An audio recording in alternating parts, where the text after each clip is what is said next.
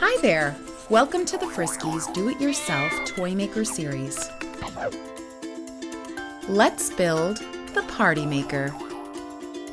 You will need one coat hanger, one Friskies Party Mix bag, oh, an empty bag that is, and a roll of colorful tape. Shall we begin? Cut the Party Mix bag into thin strips. Keep going, you're halfway there. Now, take a 10 inch piece of tape and place it sticky side up. Take your strips and place them one by one on the tape.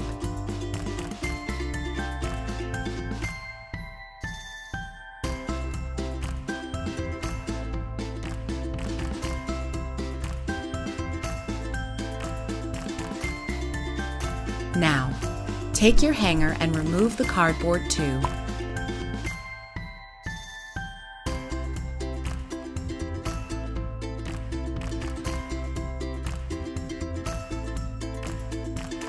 Once the tape is good and secure, it's time to celebrate.